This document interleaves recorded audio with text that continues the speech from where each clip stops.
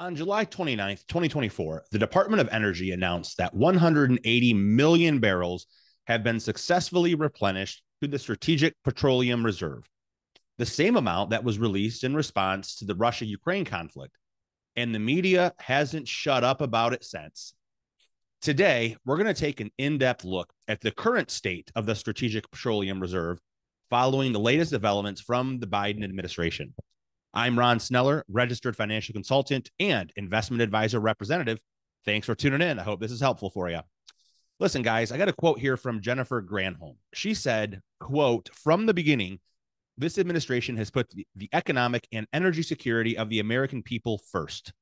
This milestone is a proof point that when the Biden Harris administration makes and implements a plan, we deliver for the American people. Again, that's from U.S. Secretary of Energy Jennifer Granholm. She continued, as promised, we have secured the 180 million barrels back to the Strategic Petroleum Reserve released in response to Putin's war in Ukraine. And we accomplished this while getting a good deal for taxpayers and maintaining the readiness of the world's largest strategic petroleum reserve. This led multiple news outlets to report that the Biden administration has replenished the 180 million barrels of oil it removed from the SPR due to the Russia Ukraine conflict. But what does this really mean? Is the Strategic Petroleum Reserve really back to its pre Biden levels? We're going to explore the answers today through three insightful charts. Let's check this out. But first, before we get rolling, I, I do want to thank our friends over at First Trust Advisors LP in putting this information together for us to share here with you. For more information or to access more of their research, which I highly recommend, um, you should look up and follow Brian S. Westbury, chief economist at First Trust, and also Robert Stein, deputy chief economy, uh, deputy chief economist over at First Trust. All right, let's take a look at this first chart here, guys. As of August 2nd, 2024, the SPR held 375.8 million barrels, marking an 8.4% increase from the low of 346.8 million barrels recorded on July 7th, 2023. However, this figure still represents a significant 41.1% decrease from the 638.1 million barrels in reserve when President Biden took office. So, where is this 180 million barrel replenishment that the administration claims? Well, the answer lies in the details. To date, the administration claims to have purchased approximately 43 million barrels of oil for replenishment. So, where are the remaining 140 million barrels that the administration is not citing? It's clear that they are not in the SPR. Legislation passed by Congress in recent years mandated the sale of 147 million barrels of oil from the U.S. Strategic Petroleum Reserve during the fiscal years 2024 to 2027 to generate revenue for debt reduction, infrastructure, and other priorities.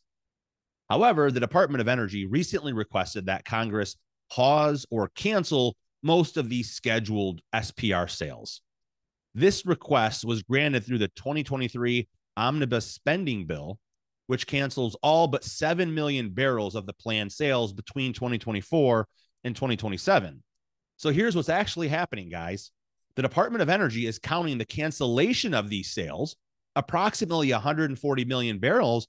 They're counting that as part of its claim to have secured 180 million barrels for the Strategic Petroleum Reserve. When combined with the 40 million barrels that the Department of Energy has actually purchased, there you have it. Now we arrive at the 180 million barrel figure.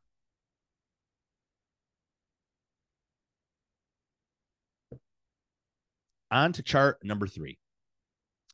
In 1983, the Strategic Petroleum Reserve held an average of 379 million barrels, equating to back then, it was an 88 day supply based on the U.S. net petroleum imports at that time. Today, however, the U.S. has shifted from being a net importer to a net exporter, making the calculation of days of supply less straightforward. Now, among the 31 member nations of the International Energy Agency, the U.S. is now one of only four that operate as a next exporter. The Department of Energy's recent statements about replenishing the reserve are at best misleading. While the SPR remains a critical safeguard, its role has evolved, luckily no longer as crucial as before, as the dynamics of the US energy landscape have changed. This shift, however, does not justify the government's misuse or mismanagement of this vital resource or the way they manipulate data and push it out to potential voters. As a standard disclaimer, this video has been for educational purposes only and is not financial or investment advice. If you would like professional assistance with the management of your portfolio or your retirement income planning during these trying times, you can connect with us through our website at snellerfinancial.com or through any of our social media channels. I've been in this business for more than 10 years and have happy clients in 47 states. You can use the link below to book a free consult to learn how I can help you.